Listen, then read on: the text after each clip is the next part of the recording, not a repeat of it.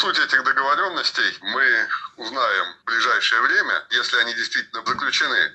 Вот. И не выдает ли господин Пашинян желаемое за действительность, с учетом того, что миротворческая миссия Российской Федерации э, в Нагорном Карабахе по-прежнему выполняет свою роль, несмотря на резко усилившиеся вызовы, в том числе и попытки азербайджанских формирований зайти на территорию Нагорного Карабаха. Мы знаем э, мартовские события у села Фарух, высоты Караглух. Стремление официального Еревана несколько отстраниться от обеспечения вопросов безопасности Нагорного Карабаха и переложить все э, на Российскую Федерацию, оно отмечается российскими экспертами.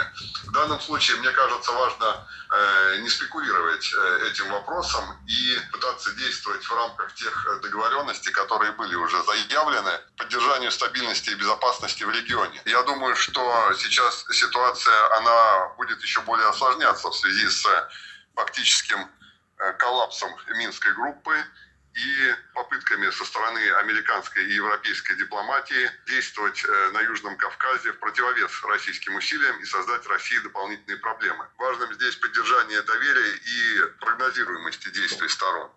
Вот. Мы не можем доподлинно судить, о чем конкретно говорилось в ходе довольно длительных переговоров между лидерами России и Армении, но появившийся на сайте Кремля пресс-релиз и совместные заявления, они говорят о том, что обсуждался действительно широкий круг вопросов, но основное внимание было уделено вопросам двустороннего торгово-экономического сотрудничества, информационной безопасности, э, а также биологической безопасности, что является, так сказать, на мой взгляд, неким новым моментом и свидетельствует о той важности, э, которую придают в Москве вот всему комплексу вопросов, связанных с деятельностью на территории Республики Армения биологических объектов Пентагона. Ситуация в регионе, как мы знаем, имеет такие признаки турбулентности и неопределенности, и некоторой неорганизованности.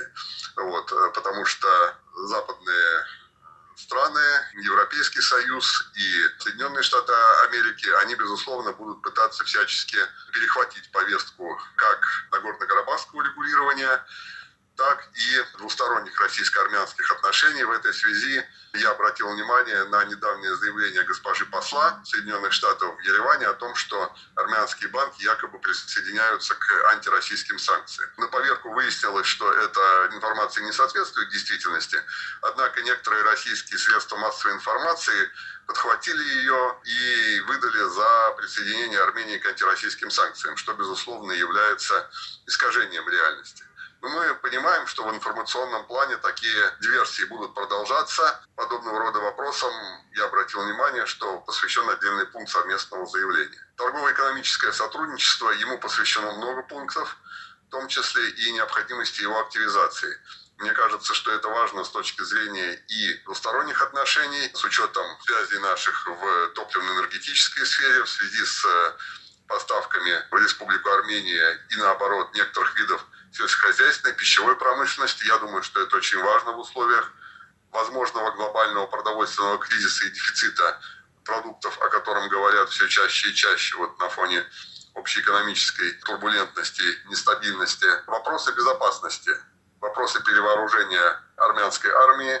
Здесь э, достаточно много нюансов, есть противоречивая информация, но это тоже было отмечено. Я думаю, что после событий осенних 2020 э, года есть некоторое снижение дееспособности армянских э, силовых э, структур и, в частности, вооруженных сил, что актуализирует вопросы их значит, подготовки и модернизации при участии Российской Федерации. Я не думаю, что западные партнеры Армении пойдут здесь на какие-то серьезные или сопоставимые шаги. Я думаю, что так или иначе Москву мог интересовать э, вопрос э, армяно-турецких переговоров и возможностей достижения каких-то прорывных договоренностей.